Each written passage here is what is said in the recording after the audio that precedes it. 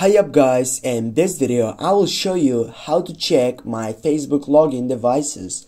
Firstly, go to my upper side and then clicking on the three dots. Right after that, just scrolling down and going for settings. Then I need to go on the second session on the first selection on the account, go for password and security. Go for it and here you can go and see who you are logged in with clicking on the see all here you can find out who has logged in into your account, in which time, in which location, in every single detail you can get it from this site.